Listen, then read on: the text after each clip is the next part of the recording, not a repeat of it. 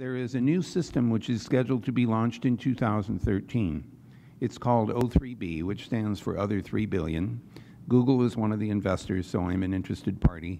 It has the property that it is planned to have a dozen satellites in equatorial orbit at 8,000 kilometers, which is below what would normally be synchronous height. The round trip time delay is 50 milliseconds.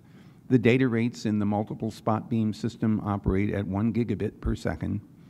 Uh, I don't have data on the cost of the ground stations. It's a double antenna system because it has to track the satellite. It is intended to be accessible 40 degrees north and south of the equator, which covers a substantial portion of the Pacific. It also covers sub-Saharan Africa and uh, other parts of the world, that uh, even uh, South America, for example, where interior uh, access may be difficult. It isn't a, a solution to everything, but it may turn out to be a very important way of bringing high speed and relatively low delay to otherwise inaccessible parts of the world.